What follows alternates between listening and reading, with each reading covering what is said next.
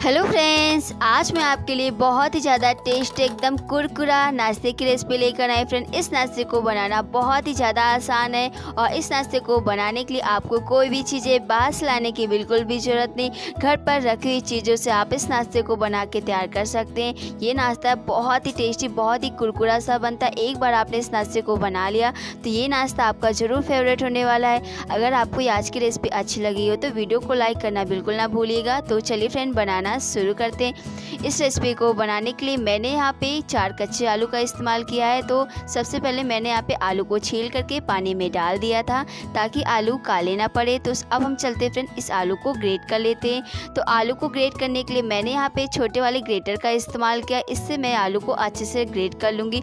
आज का जो फ्रेंड नाश्ता है वो बहुत ही ज़्यादा डिफरेंट है और बहुत ही ज़्यादा टेस्ट और मज़ेदार नाश्ता बनता है। तो सबसे पहले यहाँ पे आलू को आपको अच्छे से ग्रेट कर लेना है। तो इस तरीके से देखिए फ्रेंड मैंने आलू को ग्रेट करे तो इसके लच्छे बहुत ही पतले पतले से हैं। इससे नाश्ता बहुत ही ज़्यादा कुरकुरा सा बनता है। तो फटाफट मैं यहाँ पे आलू को अच्छे से ग्रेट कर लूँगी और ये लीजिए फ्रेंड यहाँ पे हमने सभी आलू को अच्छे से ग्रेट कर लिया। इस आलू को हमें दो से तीन बार अच्छे से धुलना है ताकि इस आलू का सभी स्टार्च अच्छे से निकल जाए। और ये लीजिए फ्रेंड मैंने यहाँ पे आलू को तीन बार अच्छे से वॉश कर लिया था। देख सकते बहुत ही क्लीन इसके लच्छे दिख रहे हैं। तो अब इस लच्छे को पानी में ऐसे डाल दीजिएगा ताकि लच्छे काले लेना पड़े। तो बस अब हम चलते इस नाश्ते को बनाना शुरू करते हैं। ये नाश्ता बहुत ही टेस्टी बनता है। तो इस नाश्ते को बनाने के लिए मैंने यहाँ पे गैस पे कढ़ाई रख दी। इसमें डाल देना है यहाँ पर आपको ऑयल। ऑयल अच्छे से गर्म हो जाए तो यहाँ पे डालना है आधा छोटा चम्मच जीरा। और एक बड़ा चम्मच यहाँ पे तिल डाल देना मैं यहाँ पे ब्राउन तिल का इस्तेमाल कर अगर आपके पास वाइट हो उसे भी डाल सकते हैं। बारीक कटा हुआ हरा मिर्च डाल देंगे। इन सभी चीज़ों को अच्छे से मिक्स करेंगे। इन्हें हल्का सा भून लेते हैं। तो मैं यहाँ पे कोई ज़्यादा मसाले का यूज़ बिल्कुल भी नहीं करूँ जो नॉर्मली हर किसी के पास अवेलेबल है, उसे ही आप इस्तेमाल कर सकते हैं। ये देखिए, बहुत ही सिंपल सा मसाला मैंने इस्तेमाल किया थोड़ा सा लाल मिर्ची पाउडर डाल दीजिएगा। इनको अच्छे से मिक्स कर लेंगे, ये देखिए। तो अच्छे से इनको मिक्स कर लीजिएगा। अब इसमें मैं ऐड करूँगी यहाँ पर पानी। तो मैं यहाँ पर एक कप के लगभग पानी का इस्तेमाल कर रही हूँ। अब इसमें मैं ऐड करूँगी यहाँ पर नमक। अपने टिश के अकॉर्डिंग ही डालिएगा। थोड़ा सा डाल देंगे यहाँ पर आमचूर पाउडर आप इसकी जगह चाट मसाला भी इस्तेमाल कर सकते हैं। उससे भी बहुत ही अच्छा टेस्ट आएगा। इनको अच्छे से मिक्स कर लीजिएगा। पानी में एक बॉल आने देना है। ये लीजिए फ्रेंड, पानी में एक बॉल आने लगा है तो मैं यहाँ पे आलू के लच्छे डाल दूँगी।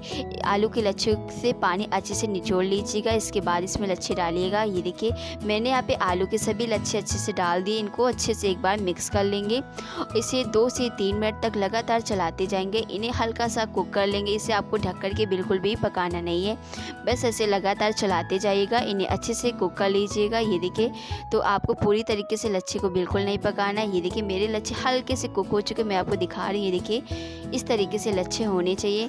तो यहाँ पे लच्छे बिल्कुल अच्छे से पक कर के रेडी है। तो अब इसमें ऐड करेंगे यहाँ पे एक कप लगभग गेहूँ का आटा। तो मैंने यहाँ पे एक कप गेहूँ के आटे के लिए एक कप पानी का इस्तेमाल किया था। अगर आप दो कप गेहूँ का आटा ले रहे हैं तो दो कप पानी का इस्तेमाल कीजिएगा इस रेसिपी में। इन सभी चीज़ों को अच्छे से मिक्स कर लीजिएगा। ये देखिए देखिए।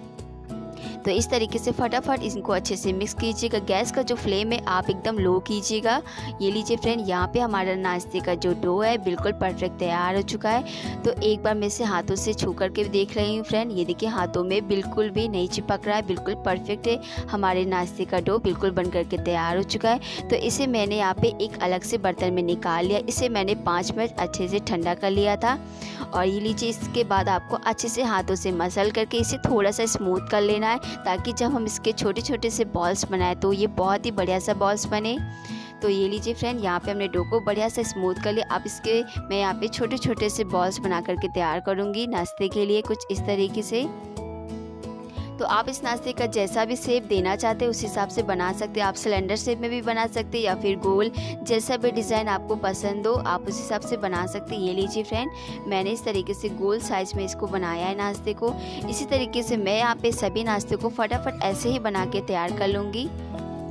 अगर फ्रेंड्स बॉल बनाते समय हाथों में बॉल चिपक रहा हो तो थोड़ा सा ऑयल लगा लीजिएगा। तो बहुत ही अच्छे से इसके बॉल्स बन जाएँगे। ये लीजिए फ्रेंड तो आप इस नाश्ते को थोड़ा सा इक्वल करने के लिए आप इस तरीके का स्पून का भी इस्तेमाल कर सकते हैं। इस तरीके से स्पून में भर करके इक्वल साइज़ का नाश्ता बना सकते हैं। अगर आपके पास ऐसा स्पून ना हो तो नॉर्मली जो स्पून होता है घर में, आप उसका भी इस्तेमाल करके इस नाश्ते को इस तरीके से इक्वल बना के तैयार कर सकते हैं। तो ये लीजिए फ्रेंड यहाँ पर हमने सभी बॉल्स को बना करके तैयार कर लिया। अब हम चलते हैं इन्हें फ्राई करने के लिए। तो मैंने यहाँ पे कढ़ाई में पहले से ऑयल गर्म होने के लिए रख दिया था। एक एक करके मैं यहाँ पे सभी बॉल्स को अच्छे से डाल दूँगी। तो ये लीजिए फ्रेंड मैंने यहाँ पे सभी बॉल्स को डाल दिया। गैस का जो फ्लेम है वो मीडियम रखिएगा। मीडियम फ्लेम पे इन्हें अच्छे से फ्राई कर लीजिएगा। ये नाश्ता फ्रेंड गेहूँ के आटे का बना हुआ है तो ये ज़्यादा ऑयल भी एब्जॉर्व नहीं करता, ना ही ज़्यादा ऑयली नाश्ता होता है, बहुत ही ज़्यादा टेस्ट और हेल्दी नाश्ता लगता है।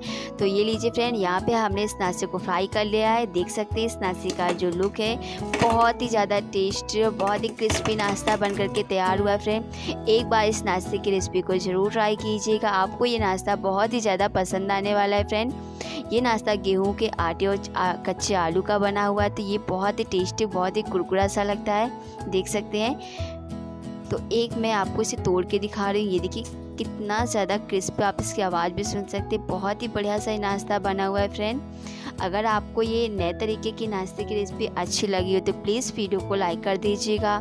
चैनल पर नए आए हैं, चैनल को ज़रूर सब्सक्राइब कर लीजिएगा। आपको हर दिन ऐसी नई नई रेसिपी देखने को मिलेगी फ्रेंड फिर मिलेंगे फ्रेंड ऐसी एक और भी नई मज़ेदार रेसिपी के साथ. Thanks for watching